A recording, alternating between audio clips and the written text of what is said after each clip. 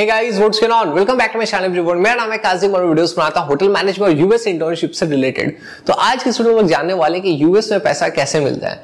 हम में से बहुत लोगों ने सुना होगा कि यूएस में पैसा आवरली बेसिस पे मिलता है, जो कि बिल्कुल सच है कि आपको हर घंटे पैसे मिलते हैं। किसी को टेन किसी को फिफ्टीन किसी को एटीन लेकिन क्या वो पैसे सच में हर घंटे हमारे अकाउंट में क्रेडिट हो जाते हैं, या फिर हर महीने हमारे अकाउंट में क्रेडिट होते हैं? तो ना ही हर घंटे और ना ही हर महीने ये पैसे आपके अकाउंट में बाई वीकली क्रेडिट होते हैं।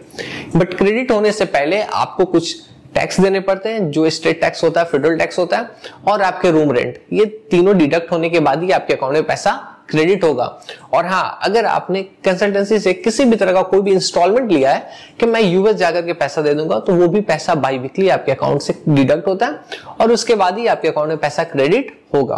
और ये पैसा फ्राइडे नाइट को आपके अकाउंट में क्रेडिट हो जाता है। तो इस तरह से आपको यूएस में पैसा मिलता है। अगर ये वीडियो अच्छी है तो वीडियो को लाइक करो कमेंट करके बताओ ये वीडियो आपको कैसी लगी।